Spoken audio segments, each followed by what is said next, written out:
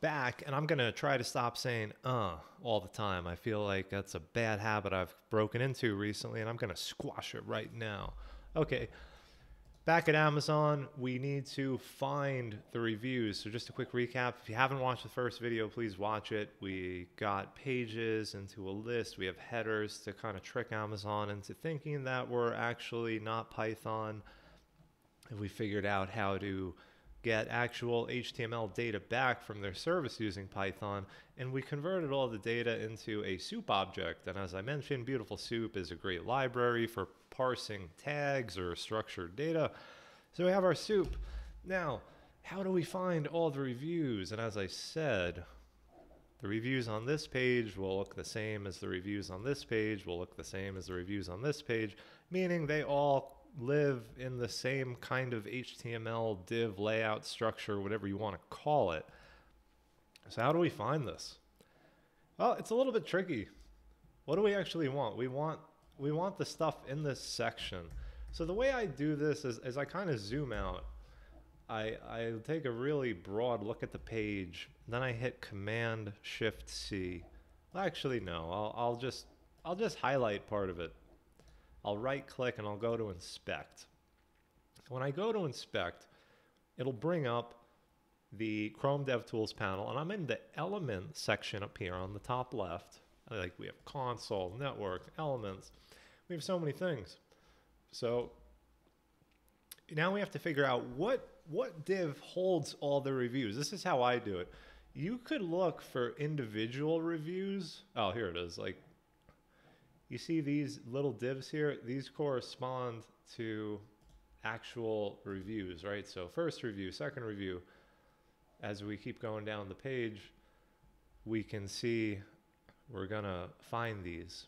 Now, you could, so beautiful soup, you can say, well, find me anything, any div having a class of a section review a-okay relative. And I could do that.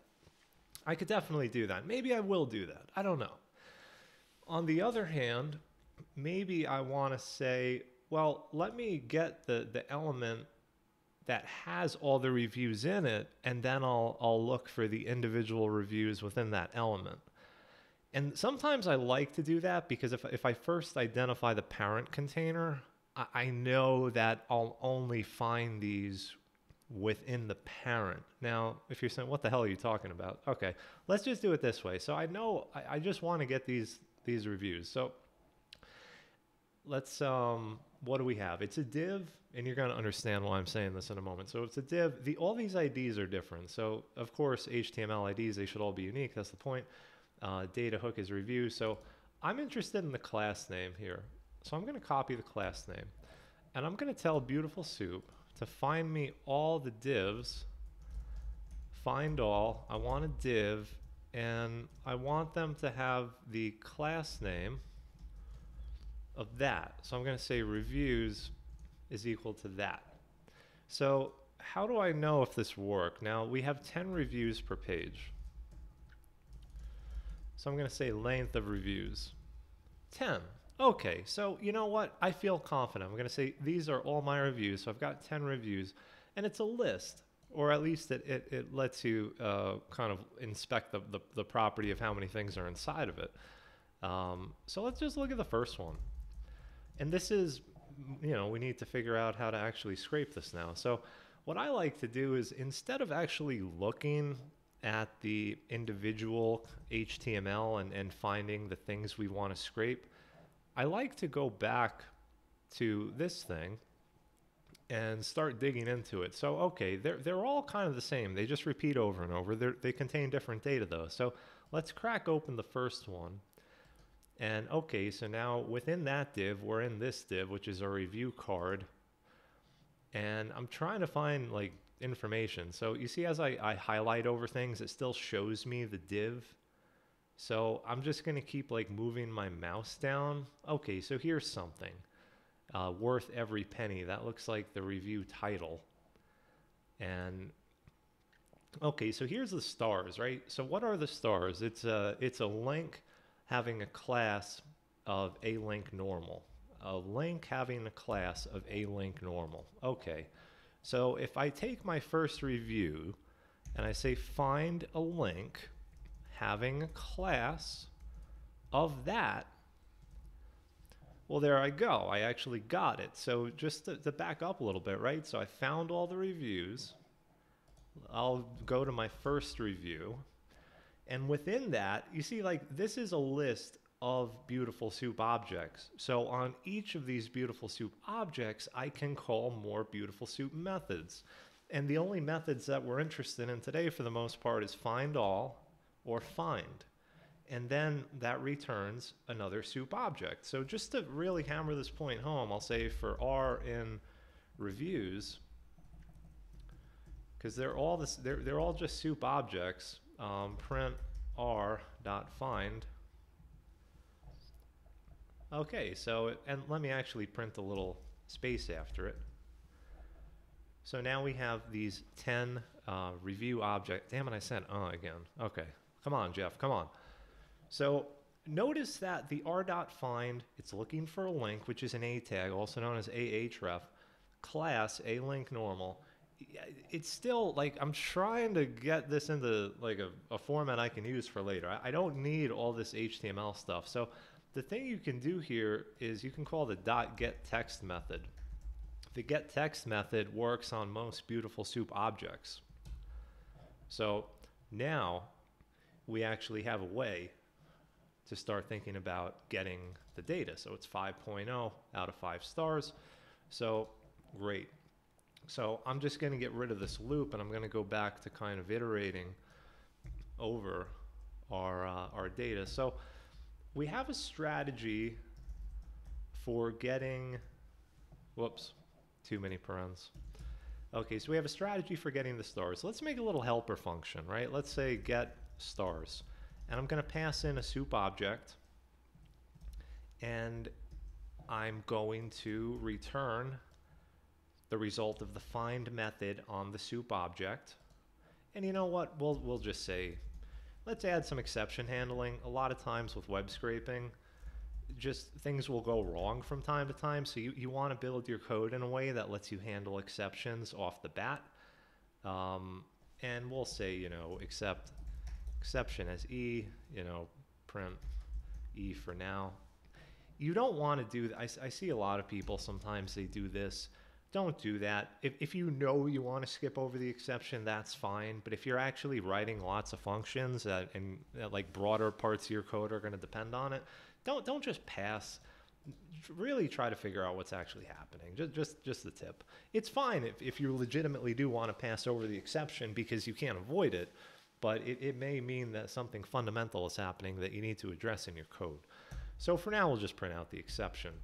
And look, one thing when you're doing this in Jupyter Notebook is when you write functions, a lot of the time you'll forget to, to change the, the function variable to the variable that you're doing work with. So, you know, I could have left, and I've done this a million times, I could have left review zero in there and it, it just yeah, it works great. It's always returning the same thing though, you know. So uh, be careful. Sometimes it's good to like restart and run it fresh after you've written a lot of code, or slowly migrate it to a script so you don't you know ruin your whole project here. So let's make sure it works. So we're gonna get stars on reviews. I'll just get for the eighth one. Aha. Uh-huh. What did I screw up? I didn't return the result of find on the soup object there. So, okay, well, 5.0 out of 5 stars. Um, well, what if I wanted to return an integer? I guess, you know, I could say this is the this is the review string, right? And uh, sorry, I'm trying to work with limited space here so you can still see big font return review stir zero. And I guess I could say cast it to an int if you wanted. So it's a five. But let's not overcomplicate things. Let's just return the string for now. We can always handle it later. We could always parse it out later.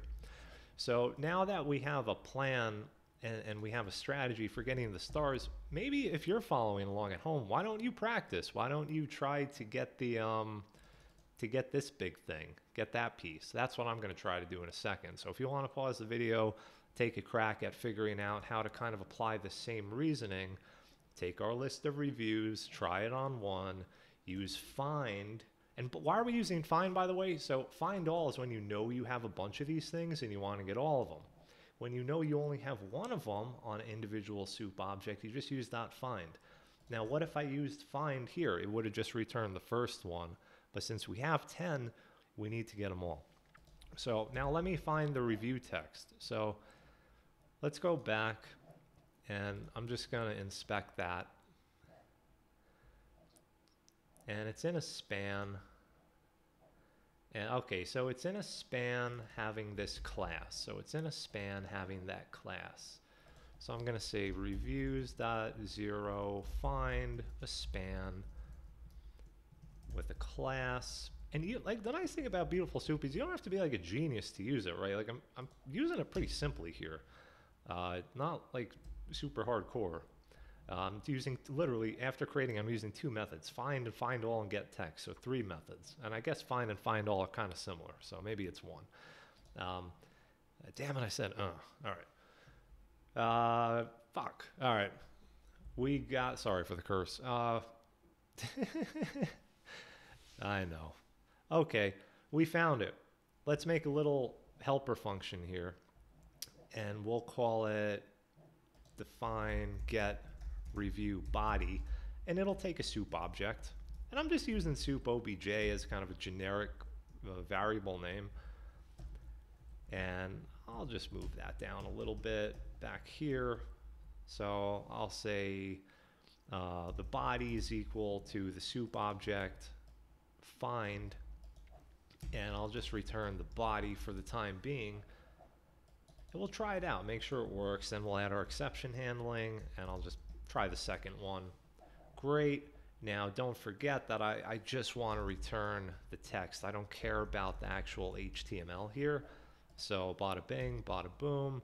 And we can probably clean it up. Like you see these new lines. Maybe we'll go in there, strip, clean it up a little bit. Okay, so then I'll add my exception handling just in case we need to do that later on when we're parsing thousands or you know more than one example at a time. And I'll just catch the exception, assign it to E, and print E for now. Okay, so that's kind of the strategy for grabbing that stuff. Maybe we'll do one more real quick. What's another important thing? We got the stars, we got the body.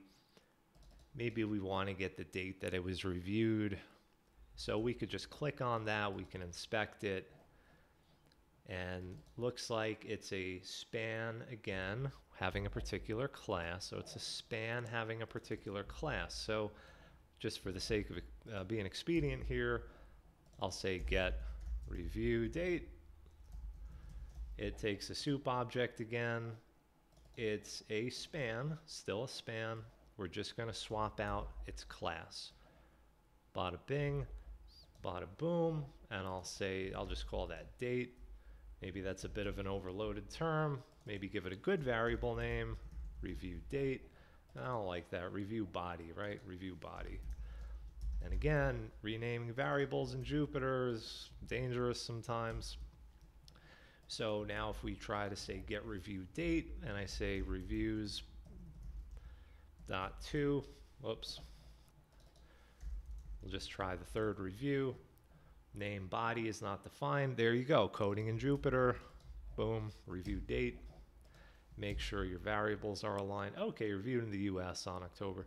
So you, you kind of get the pattern now. You you figure out how to get all the individual divs. So this is like, you know, just for the sake of being super repetitive, like 10 divs. And then we use one at, one at a time just to test out. And each one is a soup object. You could do whatever you want with it. It has find, it has find all, it has get text.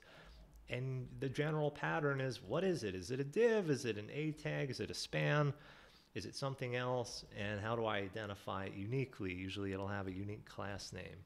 And then you call get the text, you do miscellaneous cleaning on it, and you're good to go. So try to get try to get everything you want. The next video, we're going to kind of put it all together and prepare it to write out to wherever we want, be it a CSV or whatever. So I'll see you there, folks.